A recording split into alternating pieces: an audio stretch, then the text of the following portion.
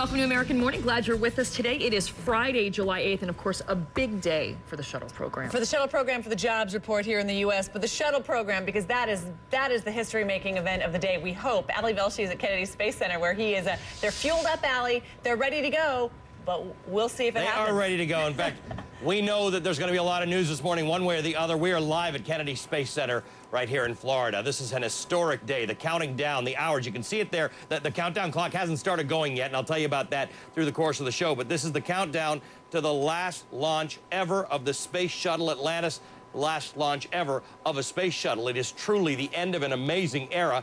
Four astronauts will make history today. One million people from around the world are expected to gather in the greater area here to witness it if the weather holds out, they're here. They're ready to go uh, in case uh, in case this uh, shuttle takes off. Now, of the people who've been on the shuttle, only 355 of the very elite have flown the shuttle in its 30-year history.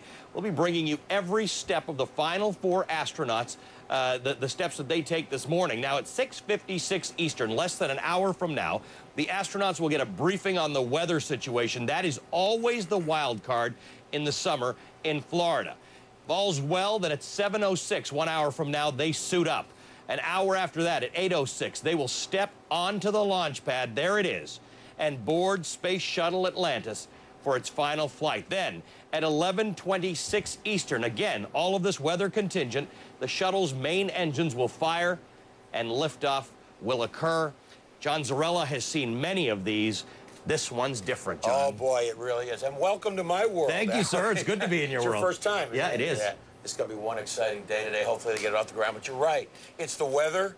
It seems to be the weather most times right. here. Uh, no exception today. Uh, you know, and in fact, well, you know, the astronauts themselves, they're up, they're having their breakfast. Yep. They're going through that right now. Uh, and you can see out there, we're looking at uh, the uh, the superstructure around the shuttle Atlantis. But the weather was pretty wild around here yesterday That's while right. you were flying in. We actually had some lightning strikes within just a quarter of a mile, third of a mile of the launch pad. Uh, so late yesterday afternoon and into the evening, before they started the tanking, they actually had to have the teams out there walking the pad, walking the area to make sure. And you can see it here on yeah, the video, those yeah, lightning strikes. Absolutely, to make sure that Nothing was uh, damaged. there were no issues Yep. and no problems. Unfortunately, there were Explain none. this to me, because Yeah. people have asked me this. This is a robust, hardy vehicle that has traveled millions of miles in space. Why does a little lightning and, and, and rain and wind on Earth affect the takeoff? Well, lightning, the electronics, everything on board the shuttle, you get those supercharged Right, currents that right. can go through, and you could have yourself a real problem. Uh, so they've just got to check and make sure there are no issues that uh, have developed with any of the sensitive equipment on board. You know, George Diller has been here since 1979. He was Right. hired for the shuttle program. George Diller is going to do the final commentary uh, on the liftoff Good. this morning. Uh, and uh, I asked George yesterday, I said, hey, have you thought about what you're going to say on this historic moment? something that has to occur to me and it comes at very unlikely times when I'm not doing something related to the Space Center or to the launch. My best thinking on liftoff lines comes in the shower or thoughts while shaving, you know, and that's just about what happened on this one Yesterday. yesterday. so, at any rate, now so far I haven't changed my mind. I think maybe I might change one word, but so far I, I think I'm there. So it was actually Wednesday when George came up with his final, with his lines for what he's going to say on liftoff. And his very first one that he did, he was commentator on, was the Shuttle Atlantis. Right. Okay. So So, the so it'll be interesting to see what's Yeah. in our Yeah. business. By the way, we call that a deep tease. You're going to have to watch TV to find out what he actually says. All right. John and I are going to be together with some fantastic people uh, this morning. Uh, stay with us, uh, but we'll be here all morning. Uh, fueling of this uh, shuttle, by the way, began on time, as John mentioned. The launch team closely monitoring the weather the entire time. Speaking of the weather, Chad Myers with us here at Kennedy uh, Space Center, keeping an eye on it for this uh, for us this morning. He is live at the Visitor Center, where we're going to have a whole lot of people who've worked very, very hard to get there and watch it from there. Good morning, Chad. Good morning, Ali. They started showing up and the doors opened at 2 a.m. The entire field over there full of people already waiting for it. But something that we've seen this morning that we did not see at all yesterday, there are breaks in the cloud cover. We saw nothing of the sky yesterday. It was a gray, rainy day. Now, there are showers on the radar and the radar picture just shows most of the rain kind of out near Tampa and to the west of us. There, that big red dot is where we are right now. We get to keep that shower activity back off to the west. We get more clearing here. The shuttle goes off today, even though it could be, and they're still saying 70% chance of a no-go with weather hey, you know what? That means there's still a 30% chance. And you buy a lottery ticket whether there's a almost no chance anyway. So this could be the day with the sun breaking out. It rained all day yesterday. Maybe that rain is done for a while. We only need a few minute window and they can launch this bad boy. We'll see if we do. Out. And that's what they say, Chad. Everybody I talked to down here. So when I was in New York, everybody was saying 70% chance it's not going to go. And then I come down here and everybody says, that means a 30% chance it is going to go. People are optimists. And I suppose you, to, to, work for NASA uh, and to be around here, you, you have to operate as an optimist. Chad, we'll be checking in with you through the course of the morning. You cannot but be moved uh, by what it looks like down here. I'm Ali Velshi. Welcome to American Morning. We're live from Kennedy Space Center this morning, where in just a few hours, fingers crossed, we will watch history being made from that platform. That is a live shot of, uh, of the platform where the Space Shuttle Atlantis is standing by, uh, ready to take off. Joining me now is uh, my friend Leroy Chiao. He's an astronaut who flew on three, uh, three shuttle missions plus one mission on Soyuz. He spent six and a half months on the International Space Station. 229 days in space. Uh, you've done uh, six spacewalks. Right. Boy, you are the astronaut every one of us always wanted to be. Uh, but I have to tell you, Leroy, you love it. I love it. We've talked about it right. so many times. But it's chocolate and vanilla. There are some people watching us right now saying, why do we care so much about the space program? What's the big deal?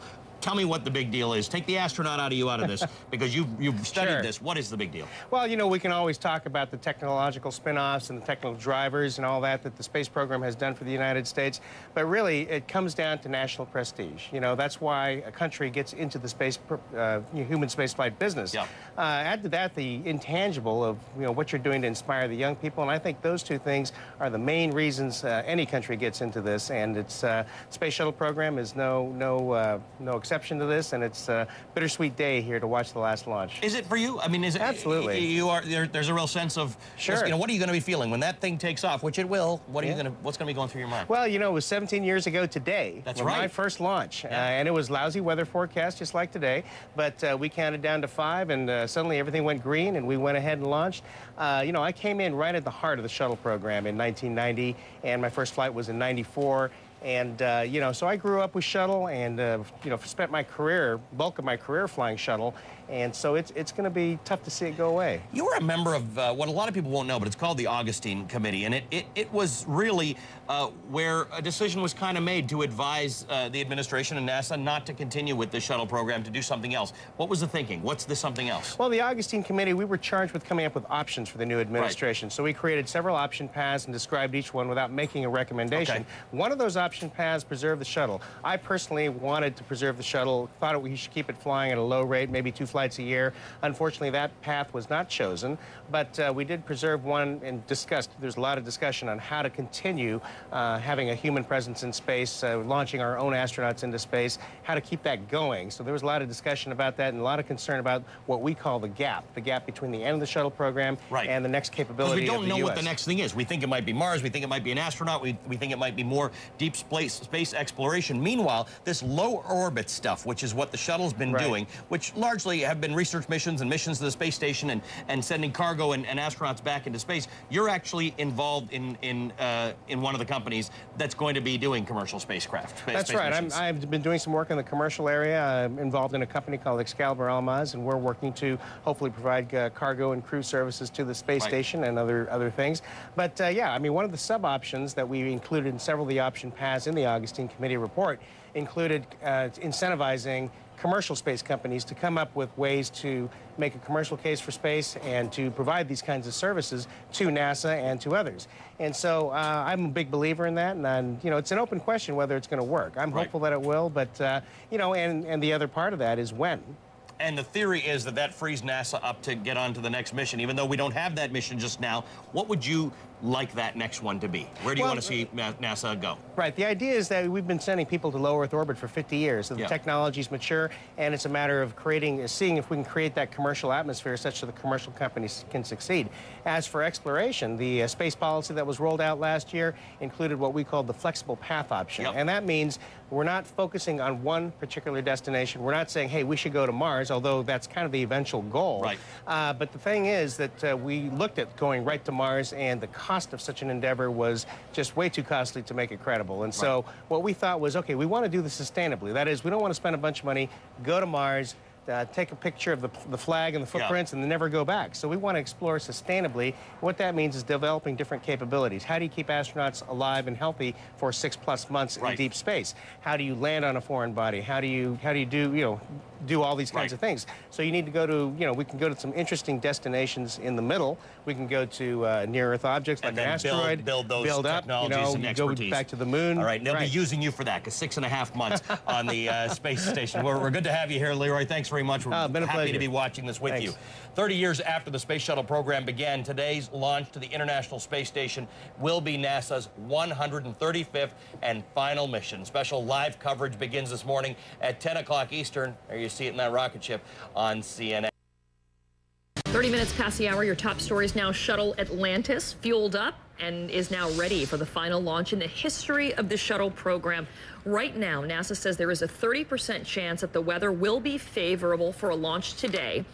The astronauts will get a weather briefing actually in less than half an hour. In uh, less than five off, uh, hours, if planned, when Shuttle Atlantis lifts off and embarks on the final shuttle mission of history. Here is a beautiful, beautiful live shot of the Space Shuttle Atlantis. Hundreds and thousands of people have made their way uh, to this area to witness the event. This is the firing room. This is the room from which they will control the launch of the Space Shuttle Atlantis. Right now, scheduled for 11:26 a.m. Eastern Time. Uh, you're looking at all sorts of shots uh, from the uh, Space Shuttle program right now. But I want to talk to you about the people, not where we are right now, not on the launch pad, but all of the people, just regular Americans who have come here, uh, up to a million of them, to watch this. Carol Costello uh, is live nearby with uh, with some of those people. Good morning, Carol. Yes, you're talking to another regular American. That would be me. I'm at Port Canaveral, about 15 miles from the Kennedy Space Center. People have been gathering here for literally days. This is a beach right off of the highway, and all of these people are hoping that the that the space shuttle finally lifts off this morning because they'll have a fantastic view from here. Take a look out over the water. You probably can't see it, but I can see the space shuttle between the trees over the ocean. So when it finally lifts off, it will be one beautiful sight. People have come to this little tiny slip of beach from all over the country. And Ricky, if you turn this way, these people down here are from St. Louis, Canada. You're from Orlando, Tampa, Pittsburgh. I love that. Where are you from? Orlando. These people are from Seattle. And we're going to talk to them in just a second, Brad and Donna. And down over there, those people are from St. Louis. So, Brad, I'm going to talk to you because you've been here for a long time. You've been here since 2 this morning. Why? Uh, I wanted to make sure I could get a good spot and get a good good view of the final shuttle launch. Why is the shuttle launch so important for you to see? Because I've been doing this since I was a little kid. I have a scrapbook still from I'm 15 or 16 years old. I've been watching it since the 60s. That this is the last launch. I mean, what feeling does that leave you with? Um, sad, but there'll be a new chapter. You know, be- things are going to be coming up. So, so you're hopeful because a lot of people that live in this area kind of think this is kind of a funereal time, that this is the end of the space program, but you don't think that. I think it's a new beginning to a new chapter. I think it's, it's sad, but it's exciting too. Cool. Well, I hope it takes off and I hope it doesn't start raining, but I did feel a few drops on my head. The coolest part about this, Ali, you see that truck over there? That truck is full of radio, amateur radio operators from across Florida. They are tapped into NASA's control center, and you can actually hear the countdown out here. So these folks will not only be able to see the launch, they'll be able to hear it too. Back to you. Yeah, I was wondering when you were when you were talking. I was listening, and I thought, did we have something piped in? Why, why am I hearing the uh, the firing center? But that's uh, the firing room. But that's because oh, of that. it's probably uh, the from stuff them. that's being I'm going to go talk to them. I can't hear you. No, it's fine. It was all good. All right, uh, Carol, we'll come back and check in with her a, a little later on. Uh, Carol's having fun with uh, with the folks out there w- getting ready to watch this. Christine, back to you. That's what I always say. I was I can't hear. Sorry, A- Ali, I can't hear you. What did you say? I'm sorry, Ali, I can't hear you. I'll do it. But it was cool how many people came from all over. I mean, just all over the country. Yeah. You know, traveling from faraway places because they want to witness this. Pretty neat. All right. Thanks, Ali. We'll check in with you in a few